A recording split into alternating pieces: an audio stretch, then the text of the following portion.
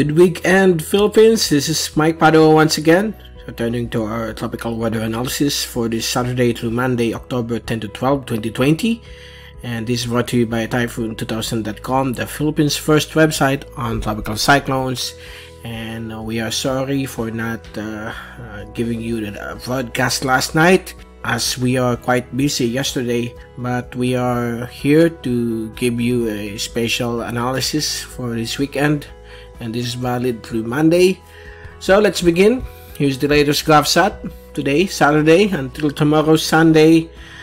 We have the once active LPA 92W, which we uh, mentioned uh, three days ago that it might develop into a tropical depression once it reaches the West Philippine Sea or South China Sea, and it did. And it's already outside of PAR. This is Tropical Depression 17W, and it's currently embedded within an active monsoon trough.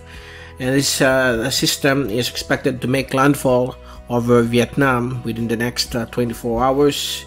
And as you can see, it still enhances the uh, southwest monsoon, although this is the uh, late effects of the monsoon, and in the next few weeks it will start to wane down.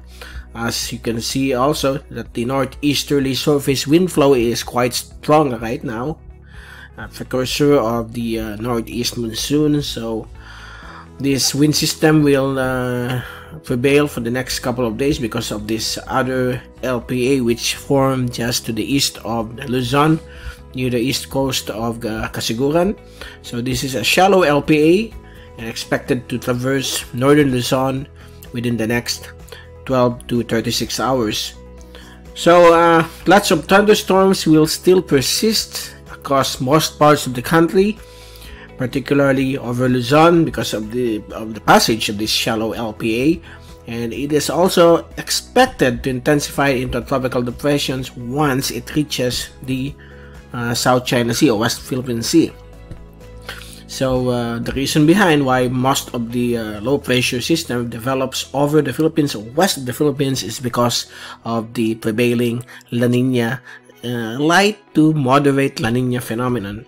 That's why we could see lesser development to the east of the Philippines. Although we have a shallow LPA, another shallow LPA, the second one over Palau, which is still quite disorganized, but we are going to keep an eye on the system with the European model showing a uh, active or strong LPA traversing Samar and Bicol region on Wednesday. So we are going to uh, take a, a, close watch on this system. Let's hope and pray it won't intensify into tropical depression once it traverses uh, Samar and Bicol. But the possibility of intensifying west of the Philippines remains high because of the, like I said, the La Nina phenomenon. And uh, there's also another one here near Guam, a shallow LPA, but it's not expected to intensify. And so far, that's the latest from our GovSat. So the northeasterly surface wind flow will prevail across the extreme northern Luzon, Batanes, Babuyan, while the um, monsoon trough across Luzon, Mindanao, and Visayas will be under the influence of the uh, convective localized uh, thunderstorms. So it's not there's no major weather system affecting these areas. While uh, Palawan and Kalayaan Island group will be under the effects of the uh, last hurrah of the Habagat southwest monsoon. Okay, so it will be uh, windy and um, some big waves over these areas and as well as over extreme northern Luzon because of the northeasterly surface wind flow. And as uh, we speak of Chan-hom, it's already uh, uh, moving towards the east, uh, already just a tropical storm, winds of 85 kph, and it is expected to dissipate over this area to the south of Japan within the next uh, uh, three to five days. But so far it's been encountering some cold winds from the northeast because of the stationary front. Okay.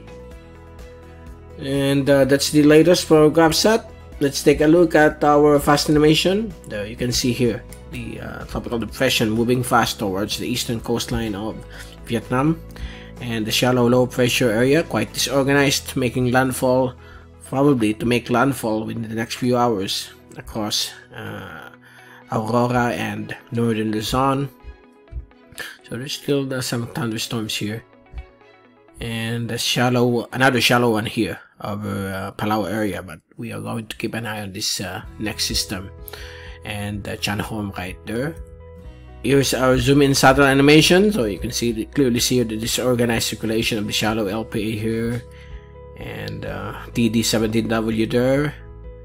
While uh, let's change the uh, settings. So this is the infrared so lots of thunderstorms across most parts of the Philippines. This is the uh, global models on these two tropical cyclones so this is uh, Chan-hom it will move south and southwest but it will uh, dissipate over to the sea southeast of Okinawa. And this is TD17W might uh, make landfall over Vietnam with the next 12 to 24 hours. So um, nothing serious across the Philippines. Uh, the LPA here is not yet on the model charts and as we look at our two-day rain and uh, wind forecast including pressure forecast so by tomorrow afternoon the shallow LPA will reorganize or re emerge over the West Philippine Sea likely to become a tropical depression once it exceeds the PAR or if it will uh, intensify within PAR it might be named Nika. While uh, some southwesterly uh, monsoon monsoonal flow affecting uh, northern Palawan uh, Mindoro and some thunderstorms here. Here's the another LPA another shallow one. Probably the next candidate it will be known as 93W another LPA coming. And on Monday here's the other LPA still uh, disorganized. And here's the LPA the shallow one which traversed northern Luzon on Sunday and on Monday it will be uh, likely to become a tropical depression as it approaches northern Vietnam so far, that's the latest from our uh, three-day or two-day rain, wind, and pressure forecast from ECMWF, courtesy. So there you go. That's the latest for uh, this weekend, Saturday through Monday, and we'll be returning again on Monday to give you more updates for on the weather situation around the Philippine Islands and nearby areas. From Typhoon 2000, this is Mike Padua reporting. Happy weekend to all. Stay safe always. Be hashtag WeatherWiser, hashtag TyphoonWiser, and thank you for watching our YouTube channel.